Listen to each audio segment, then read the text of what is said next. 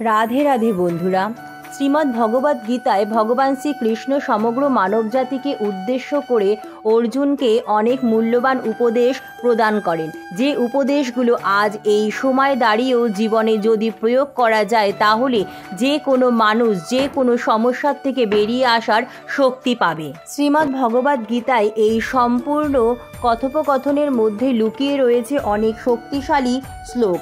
যেগুলো যদি আমরা জীবনে কঠিন সময় পাঠ করতে পারি বা মনে মনে একটু স্মরণ করতে পারি, তাহলে আমরা সেই কঠিন সময় থেকে অনায়াসেই বের হতে পারব। কিন্তু অনেকেই এই শ্লোকগুলোর ব্যাপারে জানেন না বলে তারা কঠিন সময়ে পড়লে ঘাবড়ে যায় এবং বুঝে উঠতে পারে না কি করবে। আর এই মারাত্মক শ্লোকটির মধ্যে শ্রীকৃষ্ণ নিজেই সমস্ত সমস্যার সমাধানের কথা বলে গেছেন। বন্ধুরা, আজ আমি এই ভিডিওতে শ্লোকটির কথাই তুলে ধরব, যাতে আপনারা যখনই কোনো সমস্যার মধ্যে পড়বেন বা কোনো খারাপ সময়ের মধ্যে দিয়ে যাবেন, তখনই শুধু মনে মনে এই শ্লোকটি চোখ বন্ধ করে তিনবার পাঠ করে নেবেন। তাহলে দেখবেন নিমেষের মধ্যে আপনার সব সমস্যা দূর হয়ে যাবে এবং আপনার মনের ভিতরে অপার শান্তি অনুভব করতে পারবে যদি বিশ্বাস না হয় এই কথাটির ওপরে তাহলে একবার নিজের জীবনে এই শ্লোকটি অবশ্যই এক মনে চোখ বন্ধ করে পাঠ করে দেখুন। কারণ এই শ্লোকটির কথা এক ব্যক্তিকে স্বয়ং ভগবান স্মরণ করিয়ে দেন। তাহলে চলুন আর দেরি না করে জেনে নেওয়া যাক এই যে বিশেষ শ্লোকটি কোনটি এবং কীভাবে আপনাদেরকে এই শ্লোকটি পাঠ করতে হবে। তার আগে এটা জেনে নেওয়া যাক যে এই শ্লোকটি কাকে কে পাঠ করতে বলেন।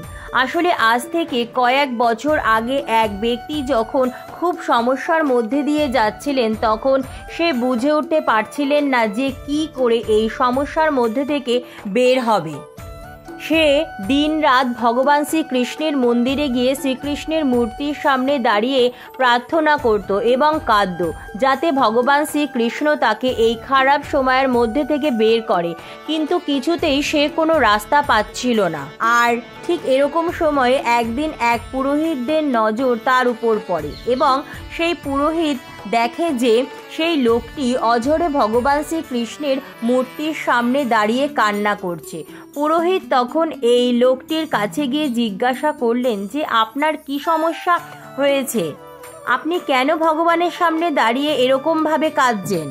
উত্তরে সেই লোকটি বলেন, আমি আমার ব্যবসায় বিশাল পরিমাণে লোকসান করেছি। আমার ঘর বাড়ি সব বেচার অবস্থায় চলে এসেছে। লোকের দেনায় ডুবে আছি আমি। কি করব বুঝে উঠতে পারছি না। কীভাবে এই অবস্থা থেকে বের হব, আমি বুঝে উঠতে পারছি না। এরকম সময় সেই পুরোহিত তাকে বলেন, যে তুমি কি কখনো গীতা পাঠ করেছ? উত্তরে সেই ব্যবসায়ী বলে হ্যাঁ একবার তো পড়েছিলাম, কিন্তু কেন বলুন তো? তখন উত্তরে পুরোহিত বললেন, যে আপনি কি আঠারো নম্বর অধ্যায়টি ভালো করে মন দিয়ে পড়েছিলেন? সে ব্যক্তি বলে যে হ্যাঁ পড়েছিলাম, কিন্তু এখন অতটা মনে নেই। তখন পুরোহিত তাকে বললেন, যে, যদি তুমি মন দিয়ে পড়তে, তাহলে শ্রীকৃষ্ণের বলা এই মহান কথাটি আপনি কখনো ভুলে যেতেন না এবং আপনি অবশ্যই এই সমস্যা থেকে খুব তাড়াতাড়ি বেরিয়ে যেতে পারতেন। তখন লোকটি বলেন, যে, আপনি কোন শ্লোকটির কথা বলছেন, একটু পরিষ্কার করে বলবেন আমাকে? তখন সেই পুরোহিত তাকে সেই বিশেষ শ্লোকটি বলেন সর্বধর্মান পরিত্যাজ মামেকং শরণং ব্রজ।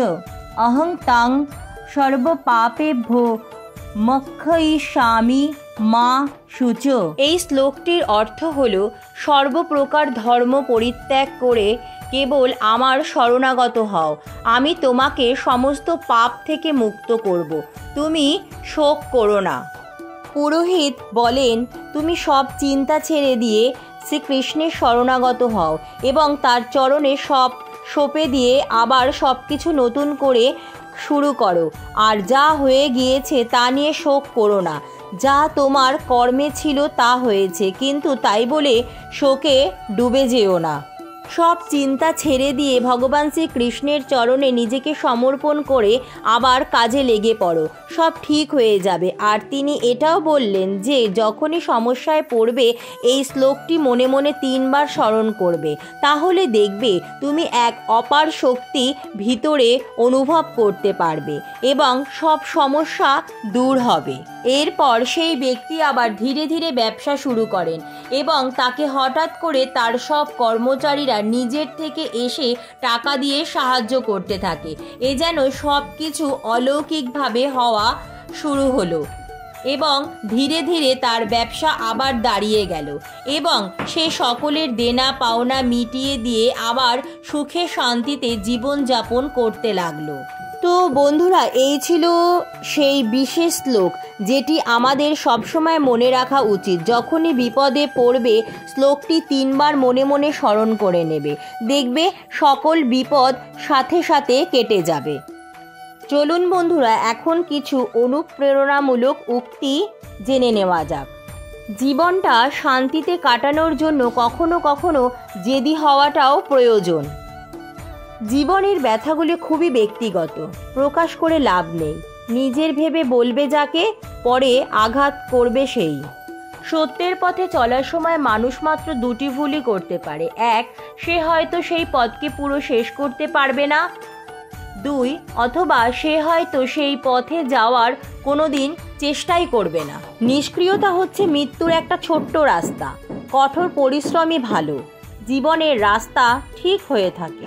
নির্বোধ মানুষেরা নিষ্ক্রিয় হয়ে থাকে এবং বুদ্ধিমান মানুষেরা কঠোর পরিশ্রমী হয়। ঘৃণাকে ঘৃণা দিয়ে কখনোই শেষ করা যাবে না। ঘৃণাকে একমাত্র ভালোবাসার দ্বারাই শেষ করা যেতে পারে। আর এটা একটা প্রাকৃতিক সত্য। মানুষের সব সম্পর্কের আধার হলো প্রত্যাশা। পতি কেমন হবে? যে আমার জীবনে সুখ আর সুবিধায় ভরে দেবে। পত্নী কেমন হবে? যে সর্বদা আমার প্রতি সমর্পিত থাকবে। সন্তান কেমন হবে? যে আমার সেবা করবে। আমার আদেশ মেনে চলবে। মানুষ প্রেম তাকেই দিতে পারে। যে তার প্রত্যাশা পূরণ করতে পারে, আর প্রত্যাশার নিয়তি হচ্ছে ভঙ্গ হওয়া। কীভাবে? কারণ প্রবল ইচ্ছা থাকলেও কোনো মানুষ কারও সকল প্রত্যাশা পূর্ণ করতে পারে না, আর তার থেকেই জন্ম নেয় সংঘর্ষ। সকল সম্পর্ক সংঘর্ষে পরিবর্তিত হয়ে যায়, কিন্তু মানুষ যদি প্রত্যাশাকে সম্পর্কের আধার না বানায় আর স্বীকার করে নেয় যে কেবল সম্পর্কই মূল আধার, তবে কি জীবন আপনা থেকেই সুখ ও শান্তিতে ভরে যাবে না? স্বয়ং বিচার করুন। বিরোধিতা শক্তি প্রমাণ হয় না। শক্তিমান সেই যে সহনশীল ও সহ্য করতে পারে। যখন হৃদয় থেকে ক্রোধ আর বিরোধিতা দূর হয়ে যায়, তখন সহন শক্তি ধর্মের শক্তিতে পরিণত হয়। ক্রোধ থেকে প্রতিশোধের জন্ম হয় আর ধর্ম থেকে ন্যায় জন্মায়।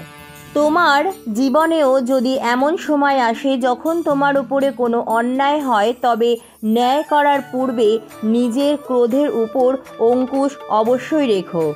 যে বৃক্ষ তিক্ত ফল দান করে সেই বৃক্ষকে উৎপাটন করে মধুর ফল প্রদানকারী বৃক্ষকে রোপণ করতে হয়।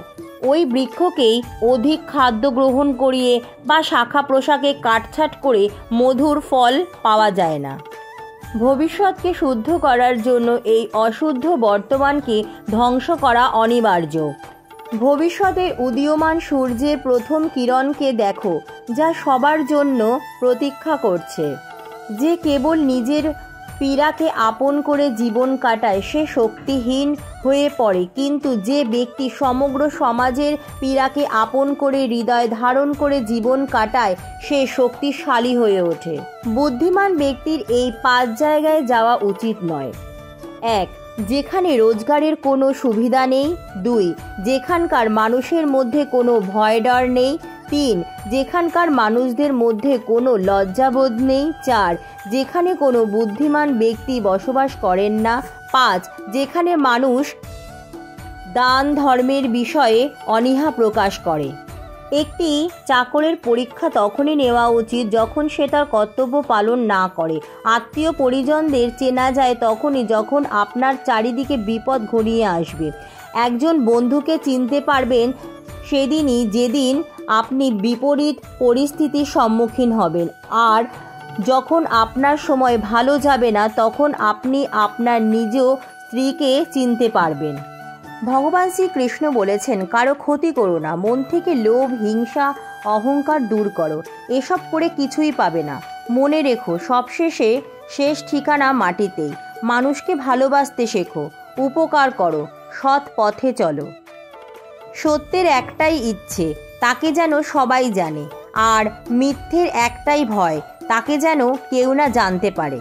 ভগবান শ্রীকৃষ্ণ বলেছেন, তোমাকে হারানোর জন্য সারা দুনিয়া অপেক্ষা করলেও কিন্তু জেতানোর জন্য একমাত্র তুমি নিজেই নিজের সাথী।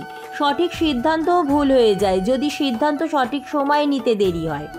যারা অন্যের মতামতের অপেক্ষায় থাকে সে সঠিক সময়ে সঠিক সিদ্ধান্ত নিতেই ভুলে যায়। সময় কখন বদলাবে কেউ বলতে পারে না। প্রভু শ্রী রামের যে রাতে রাজ্য পাওয়ার কথা ছিল, তাকেই সকালবেলা বনবাসে যেতে হয়েছিল। আপনার জন্য যা নির্ধারণ করা হয়েছে তা যদি দুই পর্বতের নিচেও থাকে, তবুও তা আপনার কাছে পৌঁছে যাবে। আর আপনার জন্য যা নির্ধারণ করা হয়নি, তা যদি দুই ঠোঁটের মাঝেও থাকে, তবুও তা আপনার কাছে পৌঁছাবে না। তো বন্ধুরা, কেমন লাগল আজকের ভিডিওটি? অবশ্যই কমেন্ট করে জানাবেন। ভিডিওটি ভালো লাগলে প্লিজ বন্ধুরা, কমেন্ট বক্সে জয় শ্রীকৃষ্ণ লিখতে ভুলবেন না। আর ভিডিওতে একটি লাইক ও ভিডিওটি শেয়ার করার জন্য অনুরোধ রইল। নতুন বন্ধুরা, চ্যানেলটি সাবস্ক্রাইব করে পাশে বেল বাটনটি অন করে আমার পাশে থাকবেন। আর যে সকল বন্ধুরা অলরেডি চ্যানেলটি সাবস্ক্রাইব করে আমার পাশে আছেন, তাদের অসংখ্য অসংখ্য ধন্যবাদ। ঈশ্বরের কাছে সকলের মঙ্গল কামনা করে আজকের ভিডিওটি এখানেই শেষ করলাম। আবার চলে আসব অন্য নতুন কোনো ভিডিও নিয়ে। জয় শ্রীকৃষ্ণ। রাধে রাধে।